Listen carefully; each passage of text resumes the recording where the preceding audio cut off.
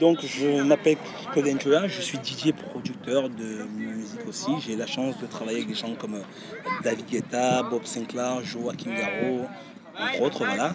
Et euh, aussi, euh, j'ai aussi cette chance de vivre en France, dans lequel j'ai pu pouvoir m'éduquer.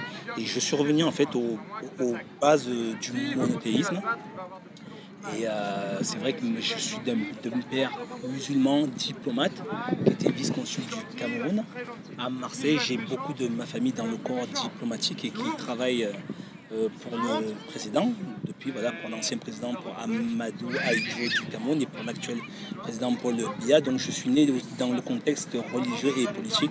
D'ailleurs, le Cameroun subit des attentats de Boko Haram. Donc vous voyez, euh, et Yaoundé a une particularité avec Israël. En fait, c'est une capitale euh, du Cameroun en fait, qui est située euh, entre sept collines comme Jérusalem et Yaoundé, c'est les anagrammes de Yehuda. Voilà, donc euh, terre de roi, c'est ça et c'est ça qui est, fou. Et je me suis rendu compte quand j'ai fait ma fouille pour mes origines du monothéisme.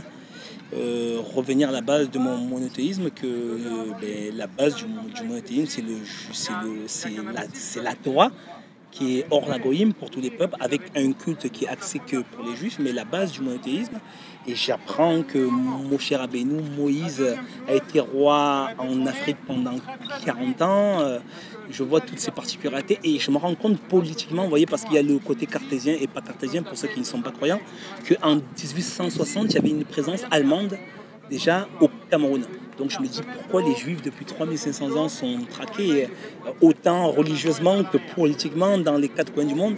Et je commence à fouiller et je commence à comprendre que la, vérité est sur le terrain parce que avec les images des médias, j'étais contre Israël parce que la, la guerre de l'intifada, cette guerre d'image, j'étais choqué de voir. Euh, moi, je ne comprenais pas la situation, mais en fait, euh, pendant cette guerre, ils ont utilisé les armes qu'on retrouve dans la Torah que, le roi David avait utilisé contre Goliath.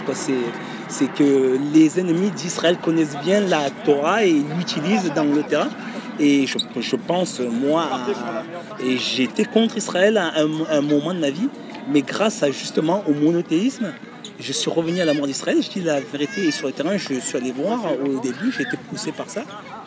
Et euh, j'ai commencé à faire des reportages live parce que j'ai vu que j'ai été menti par les médias. Et donc j'ai fait plusieurs séries maintenant de vidéos, La vérité qui est sur le terrain, qui ont un succès parce que c'est que de la vérité. J'arrive en live avec mes yeux de fils de père musulman et de mère chrétienne. Mais aujourd'hui, je suis chômeur tout aura, mais je suis toujours un homme investi dans la matière. Je suis toujours Didier, je ne juge pas les autres. Comme on dit toujours, un être humain est un être humain, qu'il soit homosexuel, qu'il soit transsexuel, qui, qui, qui trompe sa femme. Justement, il faut lui montrer que on, faut lui donner envie, l'amour d'aimer la Torah et d'être investi dans la matière. Donc je pense qu'on a un exemple à donner de réunir les, deux tendances en Israël. Voilà, et euh, d'ailleurs je suis là avec vous, Europe-Israël, qui me correspond totalement parce que vous avez euh, une manière euh, de présenter Israël à tous les niveaux, religieux, par religieux, politique, par politique, culturel, musique. Et c'est ce que les jeunes ont besoin, un peu de goûter à tout.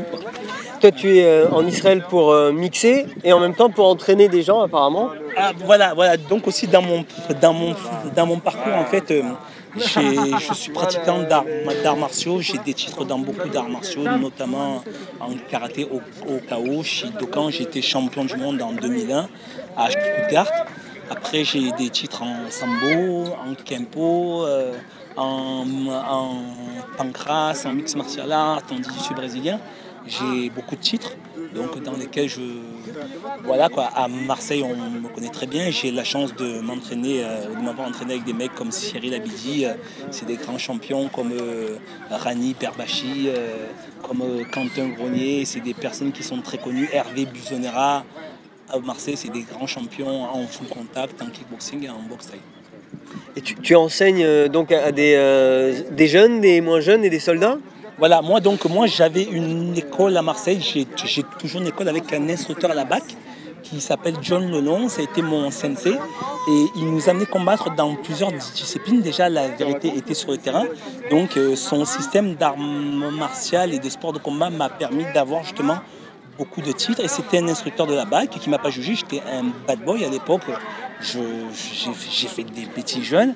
Et il, ne m'a pas jugé. Il m'a pris. euh, il a géré mon mauvais penchant. Et ce, ce potentiel que je mettais dans le rat, euh, il me l'a mis dans le tov, euh, c'est-à-dire dans le mauvais, il me l'a mis dans le bon.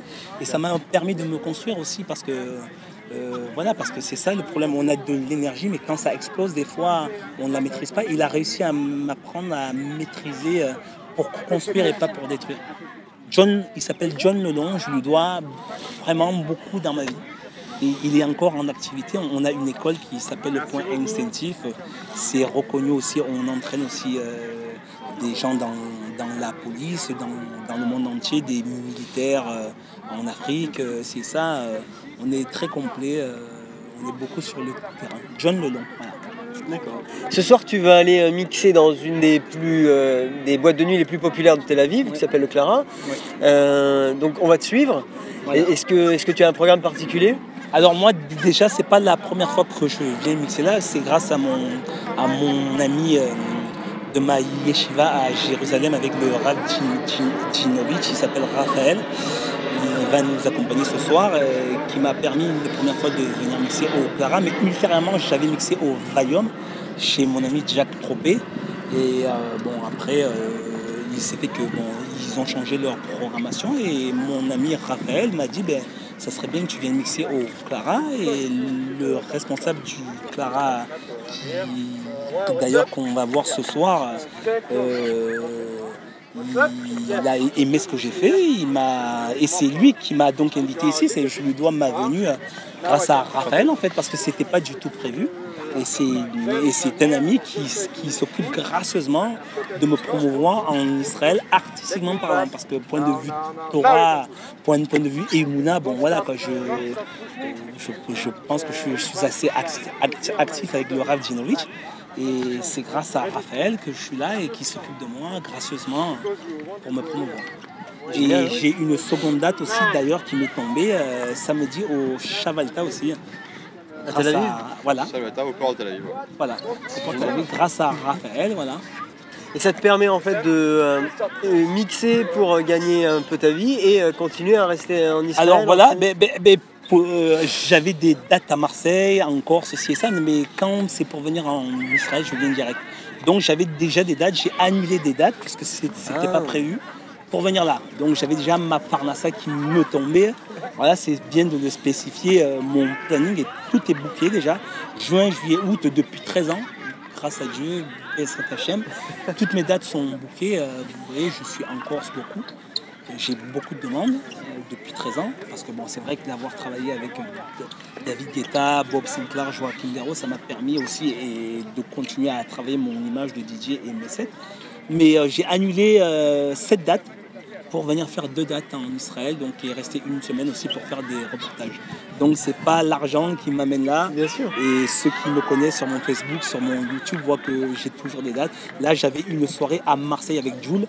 Jules, qui est un ami à moi, qui est un des plus gros rappeurs au monde. Jules et John Roca, donc c'est des gens très connus qui travaillent avec des artistes américains. John Roca, c'est un des DJ à, Paris numéro 1 qui joue dans le club, club 79 avec Nicki Minaj, avec Trey Songz, avec euh, Jay-Z. euh, euh, c'est ça. Donc j'ai annulé une date avec lui. Donc Jules. euh, les jeunes qui le connaissent, c'est le rappeur numéro un en France. Il est de Marseille.